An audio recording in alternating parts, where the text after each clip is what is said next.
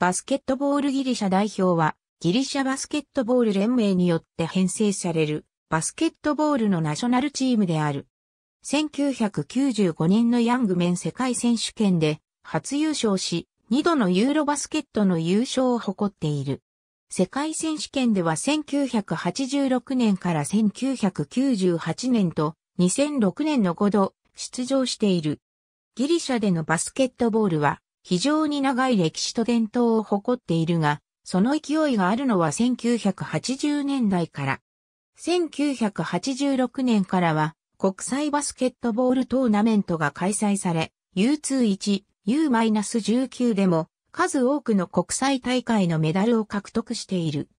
1987年は強豪国と呼ばれていたソ連を破り、欧州選手権初優勝を成し遂げ、2005年大会も優勝している。